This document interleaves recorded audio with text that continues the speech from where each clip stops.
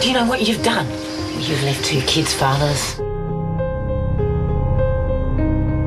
His blood's on your hands.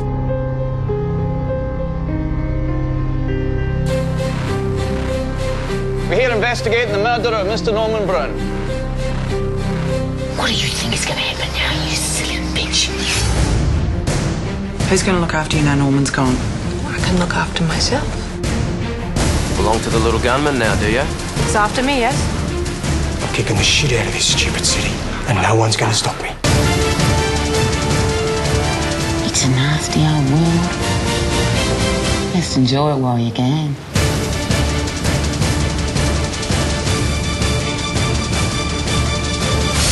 Underbelly Razor next Sunday, 8:30.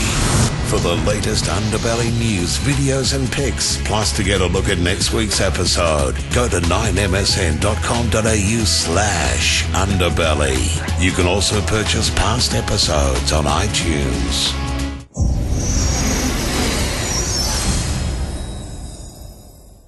The premiere of Camelot is classified MA. It contains strong sex scenes, some violence, and some coarse language. The Nine Network recommends that it is not suitable for people under 15 years.